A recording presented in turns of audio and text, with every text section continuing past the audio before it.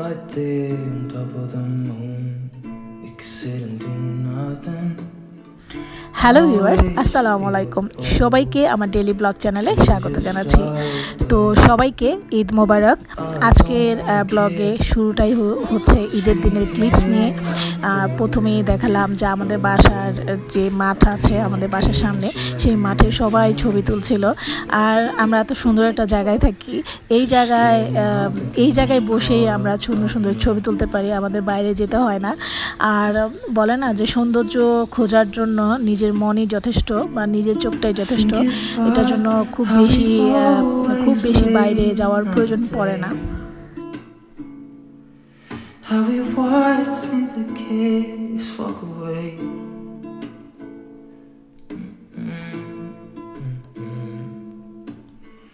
Let's live.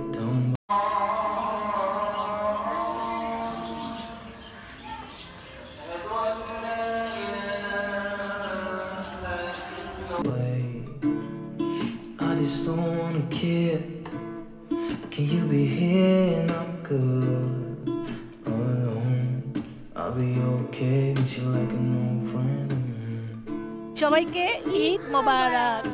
সবাইকে ঈদ মোবারক. সবাইকে ঈদ মোবারক। এই ঈদ সবার জন্য মঙ্গল বয়ে আনুক নাকি? কি হয় নাই?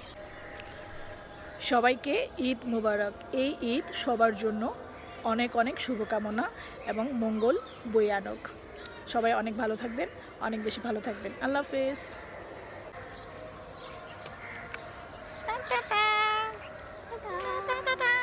সবাইকে ঈদ মোবারক সবাইকে ঈদ মোবারক। আসো। তাকাও। তো বাসায় যেহেতু আমার শ্বশুর আব্বা আছেন খুব স্বাভাবিকভাবে একজন অসুস্থ রোগী বাসায় তাকে টেক কেয়ার করতে হয়। রেগুলার আমাদের সবাইকে আমার শাশুড়ি আছেন ওনাকে টেক কেয়ারের জন্য। তারপরে আমি তো আছি। সেই সাথে হচ্ছে আমার ননদের মেয়ে তাবাছুম। ও হচ্ছে ওর নানাকে খুবই ভালোবাসে। ওর যেহেতু স্কুল বন্ধ একুশ তারিখ পর্যন্ত, সেজন্য সে আমাদের বাসায় আছে, তার নানার সাথে সে থাকবে। তো তাকে নিয়ে একটু ঘোরাঘুরি করলাম, যেহেতু ছোট মানুষ বাসায় আছে। আর হচ্ছে আমাদের বাসা সকালবেলা একটু টুকটাক ওকে নিয়ে একটু বাইরে গেলাম, ঈদ মোবারক নিয়ে একটু ফান করলাম, সবাইকে একটু উইশ করলাম। আর ছবি তোলার মধ্যে এখন মানুষ আনন্দ খুঁজে পায়, কী আর করার? তো ওকে একটু না, প্রকৃতির মাঝখানে নিয়ে গেলাম। তারপর হচ্ছে বিকেলবেলা কোথায় যাব আর বাচ্চা মানুষ, এর মধ্যে হচ্ছে আমার হাজব্যান্ড তো খুবই ব্যস্ত, আমার হাজব্যান্ড ঈদের ড্রেস পরার সময়ও পায়নি। আর এবার ওই রকমভাবে ঈদের ড্রেস কেন মানে কেনাও হয়নি, ঈদের ড্রেস কেনা নিয়ে যে আমাদের ভিতরে একটা ইয়ে থাকে, মনের মধ্যে যে একটা সবসময় একটা উৎফুল্ল ভাব বা সেই জিনিসটা আমাদের মধ্যে নাই। কারণ হচ্ছে কি বলব বাসায় যেহেতু অসুস্থ রোগী, কীভাবে আমরা ঈদে, ঈদ নিয়ে আনন্দ করা যায়? তারপরেও মানুষ বলে তো কথা, একটু রক্ত মাংসের মানুষ, তার মধ্যে ছোটো বাচ্চা যেহেতু আছে, ওদেরকে তো একটু আনন্দ দেওয়ার চেষ্টা করতে হয়। তো আর প্রত্যেকটা মানুষ রোগীকে সাপোর্ট দিতে গেলেও কিন্তু নিজেদের মন মানসিকতাও ভালো রাখাটাও জরুরি। তো বিকেলবেলা আমার হাজব্যান্ড হচ্ছে ওদের একটু অফিসিয়াল কাজ ছিল, সেই কাজের আগেই হচ্ছে ও আমাদেরকে সীমান্ত সম্ভারে নিয়ে গেল রাইফেল স্কোয়ার যেটা একসময় পরিচিত ছিল। তো সীমান্ত সোমবারে গেলাম, এত মানুষের ভিড় মানে আমাদের বাসা থেকে বের হয়ে বোঝাই যায়নি যে এত মানুষের ভিড়। তো হতে পারে ঈদের দিন যে এত মানুষ বাইরে থাকে।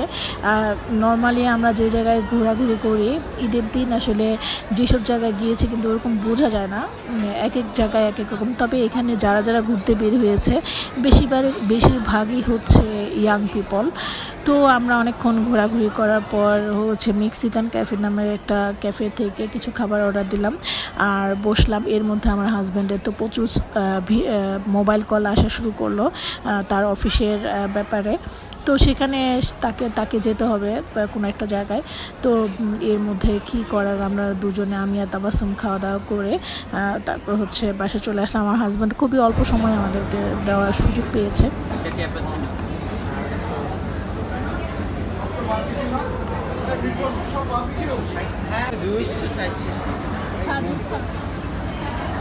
একটা চিকেন একটা ফ্রেঞ্চ ফ্রাই নিও কোনটা খাবি জুস কোনটা খাবি দেখ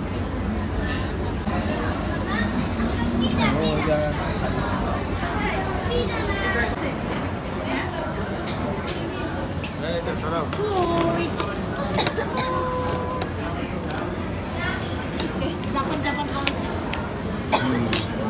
হ্যাঁ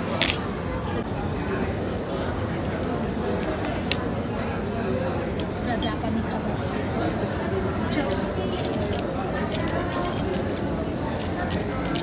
ও সসটা অনেক ঝাল না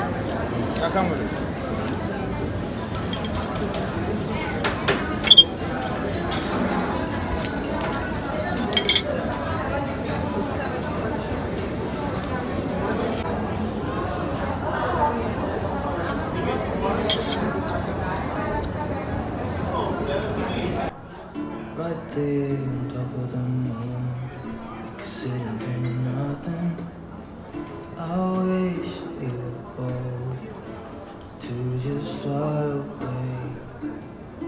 I don't wanna care.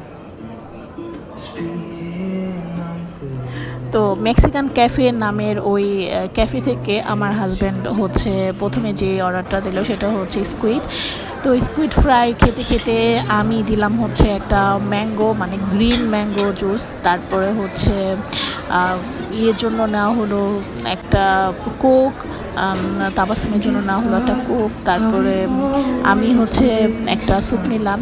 Chicken মাশরুমের soup আর আমার হাজব্যান্ড নিল মাশরুমের স্যুপ মাশরুম ক্রিম মাশরুমের যে স্যুপটা ওইটা। তারপর হচ্ছে জন্য একটা চিকেন ফ্রাই আর হচ্ছে ও খুব কোক পেপসি কোক পেপসি পছন্দ করে এই জন্য. আর এই ড্রিঙ্কসটা নিয়েছে আমার হাজব্যান্ড এটা হচ্ছে ক্যাশোনাট স্মুথি অনেকটাই হচ্ছে লাচ্ছির সাথে বাদাম দিলে যা হয়। তারপরে ফ্রেঞ্চ ফ্রাইড ছিল। টুকিটাকি মানে ঈদের ঈদের দিন এইসব ক্যাফে রেস্তোরাঁগুলোতে আর কি বা পাওয়া যাবে, কারণ বেশিরভাগ সময় তো ওদের স্টাফ থাকে না। তো আমার হাজব্যান্ড এগুলো যা যা আমরা পছন্দ করি সেগুলোই দিল অর্ডার তারপর খুবই অল্প সময় আমাদের সাথে থেকে ওর ও স্যুপটা খেয়ে চলে যায়। ও ওই যে ক্রিম মাশরুম স্যুপটা নিয়েছিল।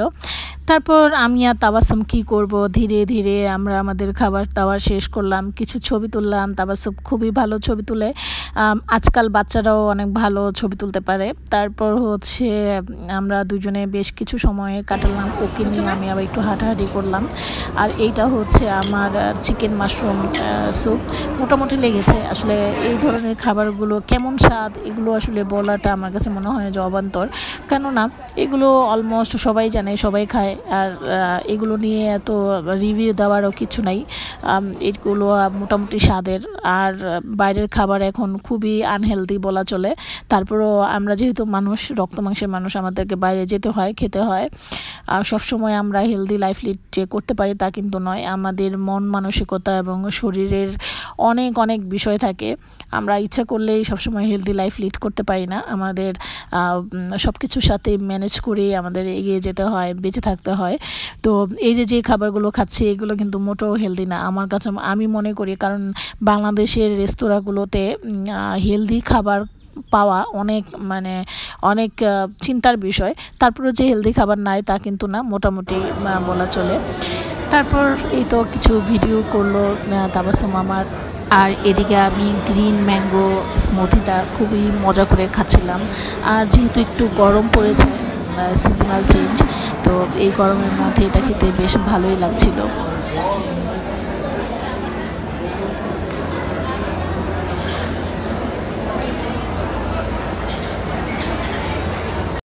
খাওয়া দাওয়া শেষে যখন বাইরে বের হয়ে একটু হাঁটাহাঁটি করছিলাম, আর কিছু ছবি তুলছিলাম, কারণ সবাই তুলছিল মানুষ আসলে আনন্দ খুঁজছিল, মনের খোরাক, একটুখানি ঘোরাঘুরি। তো সীমান্ত স্কোয়ারে আমরা বেশ কিছু নায়ক নায়িকাকেও দেখতে পেলাম, আর সিনেমার পরিচালক, খুব সম্ভবত জাজের আজিজ, যে ভদ্রলোক ওনাকে দেখা গেল। আসলে ওনাদের যে কি জিন মুভি না যেন কি এটা চলছিল ওখানে। তো নায়ক নায়িকাদের দেখে হ্যাঁ, তাবাসুম খুবই অবাক হচ্ছিল বলে ওনাদেরকে টিভিতে দেখেছি। তো বাচ্চারা তো খুবই কৌতূহলী থাকে খুব স্বাভাবিক। তো ওকে নিয়ে ওর সাথে গল্প গুজব করতে করতে বাসায় চলে আসলাম। আর ঈদের দিনটা আমার এভাবেই কেটে গেল। হালকা পাতলা টক ঝাল মিষ্টি জীবনটাকে আসলে একটু মানিয়ে নেওয়া। জীবনটা যে পারফেক্টলি হ্যাপি কেউই না। আমাদের সবারই হাজারটা সমস্যা আছে। হাজারটা সমস্যাকে আপন করে নিয়ে একটু একটু সুস্থভাবে বেঁচে থাকার নামই হয়তো বা জীবন। তো আমরা রিক্সা নিয়ে বাসায় চলে আসলাম আর রাতে ঢাকা দেখছিলাম রাতের লাল নীল বাতি, মনে হচ্ছিল জীবনের প্রথম ঢাকা শহরে ঘুরছি। আসলে ঈদের দিন একটু অন্যরকমই থাকে, তাই না?